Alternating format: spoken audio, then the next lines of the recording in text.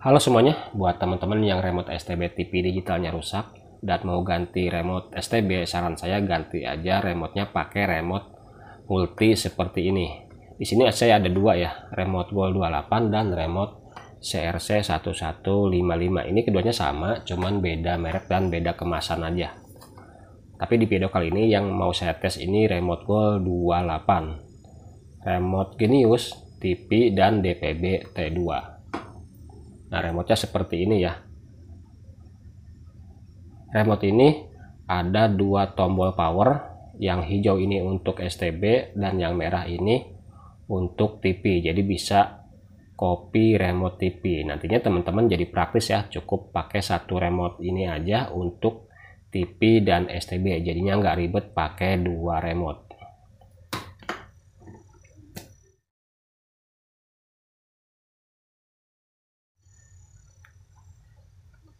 Nah, remote ini sudah saya tes di beberapa STB seperti ini. Ini Lubi 01, terus ada Sub, ada Metric Burger, terus ada Colsat Sonic yang baru dan yang lama, Metric Apple merah, Venus cabai rawit H5 sama Venus cabai rawit mini yang chipset Ali dan chipset M-Star ya kalau nggak salah terus ada juga metric Apple kuning. Ini sudah saya tes semuanya. Untuk remote yang bentuknya seperti ini nah seperti ini ini ada yang langsung bisa digunakan tanpa harus di pairing dulu atau di setting dulu. Ada juga yang harus di pairing dulu ya. Nah kebanyakan remote STB itu bentuknya seperti ini. Nah yang bentuknya seperti ini biasanya bisa disilang ya. Misalnya yang ini remote Lubi tapi bisa dipakai di remote uh, untuk remote STB Gold Master. Nah ini bentuknya hampir sama dengan remote multi yang saya pakai ini yang mau saya tes. Bedanya di tombolnya ya tombol powernya ada dua. Kalau yang ini kan tombolnya satu jadi kita masih pakai dua remote.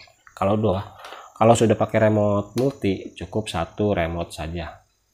Nah, di video kali ini saya mau tesnya untuk STB yang bentuk remote-nya sedikit berbeda ya.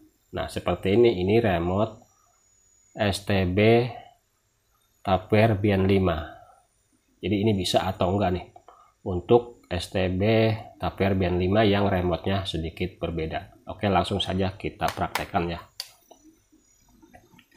Nah untuk pairingnya sudah saya bilang tadi ini tekan dan tahan tombol hijau ya seperti ini.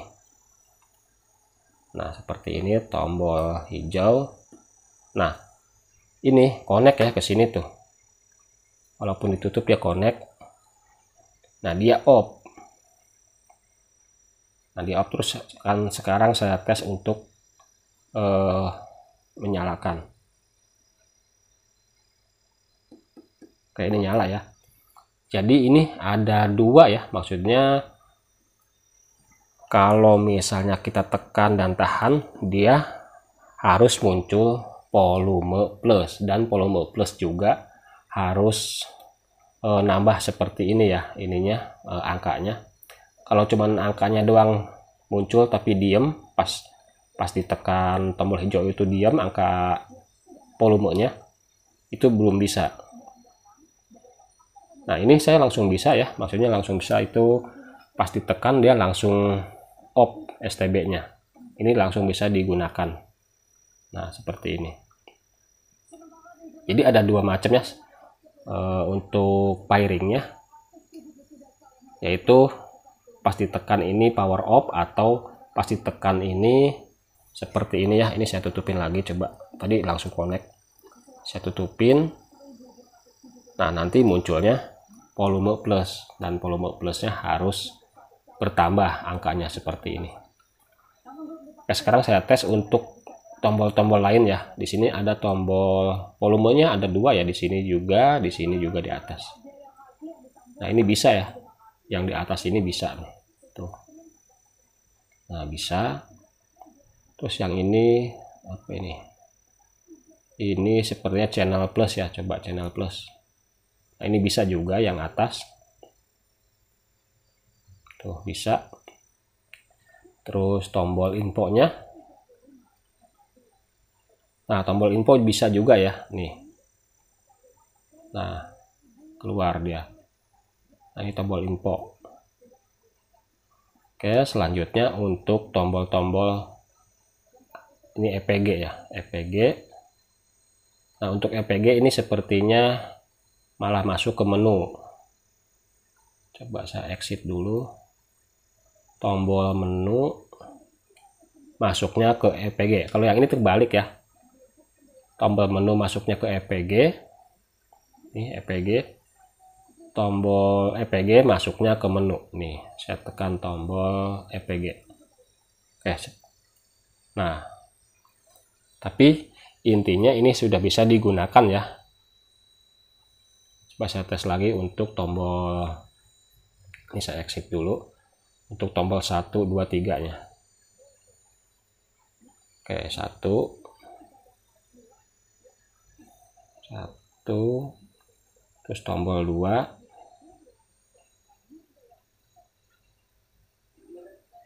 tiga oke ini bisa ya. Oke intinya ini eh, walaupun beda bentuk STB nya atau eh, beda bentuk remote nya ini bisa digunakan. Jadi enggak yang bentuknya seperti ini aja. Walaupun beda bentuk SA bentuk remote-nya dia bisa digunakan ya. Contohnya untuk Tupperware Band 5 dan ini termasuk cepat ya. Begitu ditekan tombol hijau dia langsung off powernya jadi ada dua ya. Off atau volume plus. Oke. Uh, udah bisa digunakan ini remote-nya untuk Tupperware Gen 5 jadi buat teman-teman yang remote STB-nya rusak atau mau lebih praktis cukup pakai satu remote aja. Untuk TV dan STB saran saya pakai remote seperti ini. Gold 28 atau uh, CRC 1155 ini keduanya sama cuman beda kemasan aja. Untuk pairing lebih praktis pakai cara otomatis ya. Kalau misalnya pakai cara manual itu ribet karena kode-kodenya terlalu banyak. Ya sekali lagi terima kasih buat teman-teman yang sudah menonton video ini. Mudah-mudahan ini bermanfaat ya informasinya buat teman-teman yang lagi nyari remote untuk STB jadi biar lebih praktis cukup pakai satu remote aja pakai remote multi seperti ini. Nah untuk link pembelian nanti saya cantumkan di deskripsi video. Sekali lagi terima kasih jangan lupa untuk like, komen, dan subscribe. Sampai jumpa di video saya berikutnya. Terima kasih